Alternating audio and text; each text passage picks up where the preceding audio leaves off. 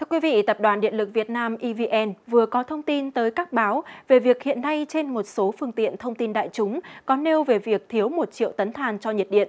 Để tránh sự hiểu lầm của dư luận về trách nhiệm của các đơn vị cung cấp than, EVN khẳng định, thời gian qua Tập đoàn Công nghiệp Than khoáng sản Việt Nam và Tổng Công ty Đông Bắc đã nỗ lực cung cấp than, góp phần quan trọng để EVN sản xuất, cung ứng điện. Không có tổ máy nhiệt điện nào của EVN phải ngừng hay giảm công suất do thiếu than.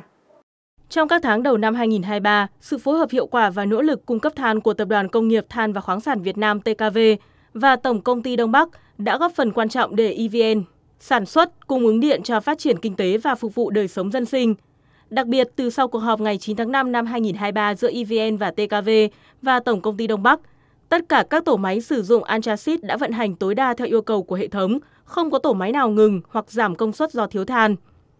Theo kế hoạch cập nhật, sản lượng huy động các tháng 6 tháng 7 năm 2023 của các nhà máy nhiệt điện than, đặc biệt là các nhà máy điện khu vực miền Bắc sẽ được huy động ở mức công suất và sản lượng tối đa.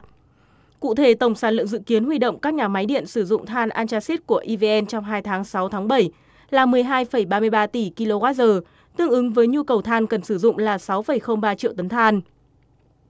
Do đó, vào đầu tháng 6 vừa qua, EVN đã tổ chức buổi làm việc với Tập đoàn Công nghiệp Than và Khoáng sản Việt Nam và Tổng Công ty Đông Bắc để đề xuất hai đơn vị này cấp bổ sung thêm 1 triệu tấn ngoài khối lượng hợp đồng đã ký kết để đảm bảo đủ than cho nhu cầu sản xuất điện trong tháng 6 tháng 7 năm 2023.